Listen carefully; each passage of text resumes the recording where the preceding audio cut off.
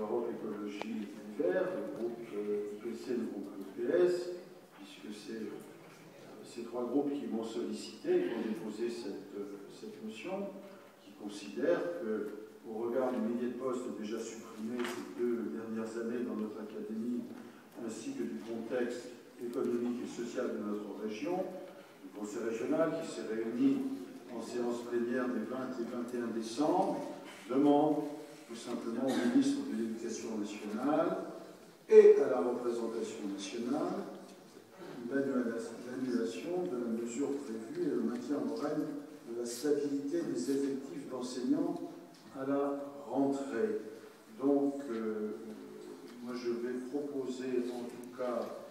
euh, au deçà le vendredi 4 janvier, je vais envoyer une invitation à toutes ces personnalités-là, je veux dire de gauche aux différentes institutions, au CES, de nous retrouver le 4 janvier à 14h, ici,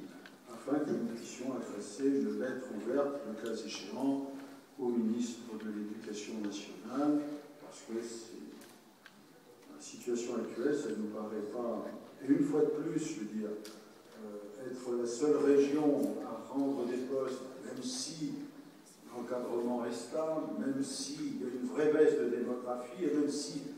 le vrai sujet est plutôt la carte des formations que nous avons à bâtir avec euh, le rectorat et le préfet et les territoires, collèges, lycées, etc.